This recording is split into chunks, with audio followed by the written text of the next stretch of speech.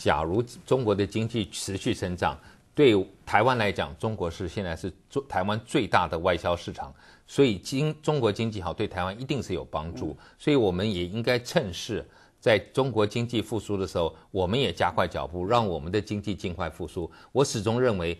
不管你今天是采取蓝或绿绿的立场，不管你支持统一或台独，你未来都要跟中国进行一些谈判。当你的经济逐渐衰退，你没有实力的时候，绝对对台湾不利。无论是谈统或谈独都不利啊。那我认为说。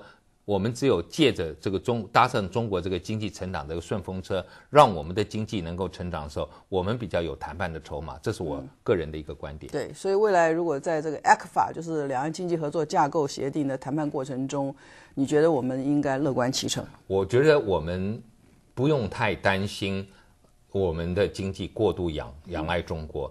我们越是过度仰赖中国，中国对台湾用武的状况是越少。我认为是它反而不太好用武。那当然，它会有一些可能希望我们不会走向台独。我觉得这个是，但现阶段我们也不可能走上台独，只是未来我们走上台独的筹码可能越来越少。但是对维持现状，我认为不会受到影响。但是当我们的实力越来越强的时候，即使是在维持现状当中，我认为我们谈判的筹码比较会高一些。